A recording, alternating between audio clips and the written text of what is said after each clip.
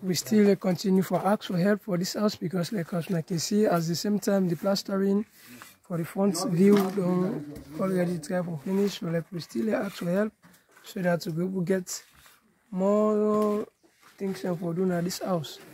So as I can see presently right now we didn't need more help. So once more I want to say thank you to all the donors then. You're always there with me for partner with me so that we will give them people or whatever they ask for.